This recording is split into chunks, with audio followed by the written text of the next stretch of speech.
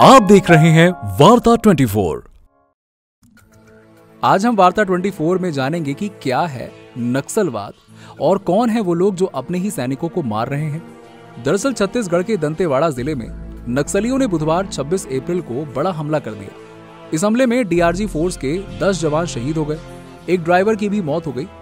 आइए जानते हैं क्यों और कहाँ से आए हैं ये नक्सलवादी। नंबर वन, कैसे शुरू हुआ था नक्सलवादी आंदोलन? बात है उन्नीस सौ सड़सठ की। उस समय कम्युनिस्ट पार्टी ऑफ़ इंडिया, यानी कि मार्क्सिस्ट के नेताओं ने बड़े जिम्मेदारों और सरकार के खिलाफ हथियार उठा लिए थे। इनमें से मुख्य रूप से तीन नेता थे, चारू मजूमदार, कानू सान्याल और जंगल संथाल।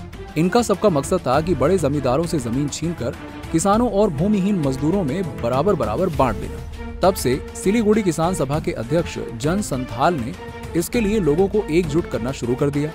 नंबर टू इसका कारण क्या था? ऐसा माना जाता है कि इस नक्सलवाद आंदोलन के पीछे अधूरे कृषि सुधार थे, बेतहाशा गरीबी, भूमिहीन किसानों का शोषण, जिनमें ज़्यादातर दलित और आदिवासी थे। आज़ादी के बाद कृषि सुधार के रूप में सरकार ने जमींदारी सिस्टम को खत्म कर दिया, लेकिन ज़मीन का बंटवारा सही तरीके से नहीं किया गया था। जमींदारी सिस्टम खत्म करने और कृषि सुधारों ने नए और अमीर किसानों को पैदा कर दिया।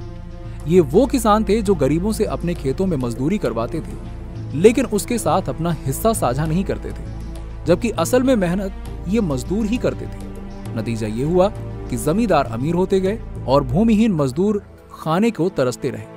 पूरी तरह से खेती पर निर्भर लोगों में गरीबी का स्तर कथित तौर पर पंचानवे फ़ीसदी से ज़्यादा हो गया था। असंतोष उबल पड़ा।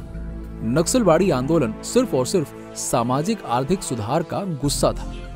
नंबर थ्री क्यों इन लोगों ने माओ के सिद्धांत को फॉलो किया? नक्सली आंदोलन के नेता मजूमदार और सन्याल, चीन के कम्युनिस्ट नेता माओ से तुंग जिसे माओ जेडोंग भी कहा जाता है, उससे सबसे अधिक प्रभावित थे। ये उसी के सिद्धांत को लेकर आगे बढ़े, इसलिए हम नक्सलवाद को माओवाद भी कहते हैं। इसका सिद्धांत था कि सरकार के खिलाफ सीधी लड़ाई संभव नहीं है, इसीलिए मनोवैज्ञानिक तौर पर इनसे लड़ा जाना चाहिए। इसमें सरकार नहीं, बल्कि उसकी इच्छा शक्ति पर आक्रमण की बात कही गई। नंबर फोर, देश के किन राज्यों में फैला है नक्सलवाद?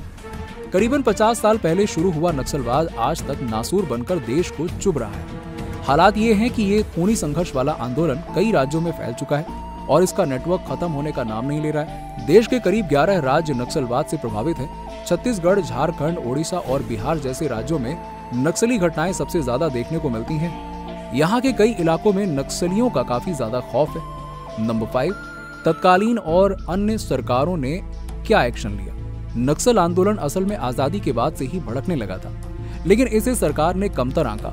नक्सलवाड़ी आंदोलन के लगभग तीन हफ़्ते बाद, जून उन्नीस में तत्कालीन केंद्रीय गृह मंत्री वाई बी चौहान ने लोकसभा में बताया था कि असल में ये स्थानीय समस्या थी और पुलिस को इससे सख्ती से निपटना चाहिए था।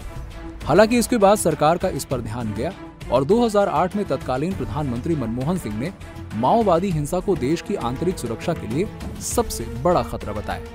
तब से ही सरकार ने इसे कम करने के लिए बहुत कोशिश की, जिसने माओवाद प्रभाव को कम करने में मदद की। 2009 में तत्कालीन गृह मंत्री ने संसद में बताया था कि देश में माओवाद प्रभावित जिलों की संख्या 223 थी। इसी साल 21 मार्च को गृह मंत्रालय ने लोकसभा में बताया कि अब देश के 10 राज्यों के 70 जिलों में नक्सलवाद है। मोदी सरकार भी नक्सलवाद पर नकेल कसने का काम कर रही है, जिसमें मोदी सरकार द्वारा कई खुफिया मिशन को अंजाम देने के लिए एक स्पेशल टीम गठित की गई। आज वार्ता 24 में इतना ही। अगर आपको जानकारी पसंद आई हो तो इसे लाइक कीजिएगा और चैनल को सब्सक्राइब कीजिएगा। इसी तरह की खबरें और जानकारी के लिए देखते रहिए वार्ता 24 और सब्सक्राइब कीजिए।